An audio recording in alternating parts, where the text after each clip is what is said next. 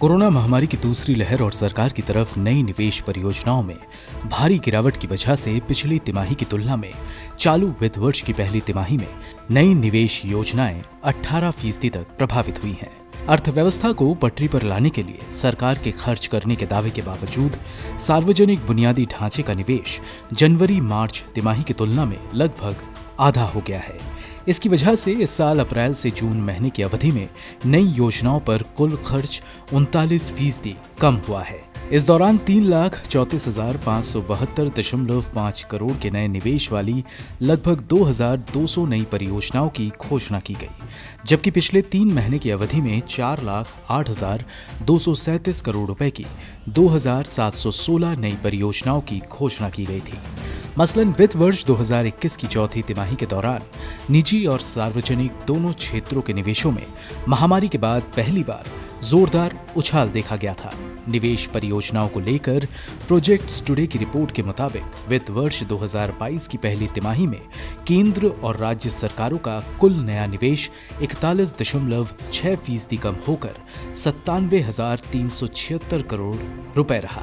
जो वित्त वर्ष 2021 की चौथी तिमाही में एक लाख छियासठ हज़ार आठ सौ सत्तर करोड़ रुपए रहा था। मसलन मैन्युफैक्चरिंग इंफ्रास्ट्रक्चर और इरिगेशन के क्षेत्रों में सरकारी निवेश घटा है। मैन्युफैक्चरिंग क्षेत्र में पिछली तिमाही के मुकाबले इस तिमाही में चार सौ इक्यासी करोड़ रुपए का निवेश हुआ है, जो सतहत्तर दशमलव शून्य तीन फ़ीसदी की शुद्ध गिरावट है। इनके अलावा इंफ्रास्ट्रक्चर पर पिछली तिमाही में जहाँ सरकार ने एक लाख तैंतीस हज़ार छह सौ छियानवे करोड़ रुपए का निवेश किया था, उसमें अड़तालीस दशमलव एक तीन फ़ीसदी की गिरावट देखी गई है। जबकि इरिगेशन क्षेत्र को तो मानो अर्थव्यवस्था का हिस्सा ही नहीं माना गया है। इस क्षेत्र में सरकारी निवेश छियानवे फ़ीसदी तक कम हुआ है। इसके विपरीत, इस वर्ष की पहली तिमाही में निजी निवेश में क्रमिक रूप से केवल एक दशमलव सात फ़ीसदी की गिरावट देखी गई। जनवरी और मार्च 2021 के बीच विनिर्माण परियोजनाओं में 45 फ़ीसदी की महत्वपूर्ण वृद्धि की वजह से ये जनवरी और मार्च 2021 के बीच एक दशमलव सात शून्य लाख करोड़ से अधिक पर पहुँच गई।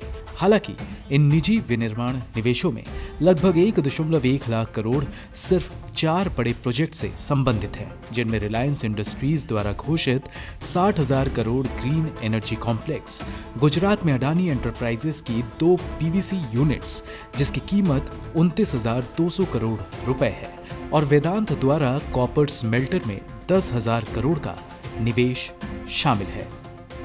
Bureau report, Go News.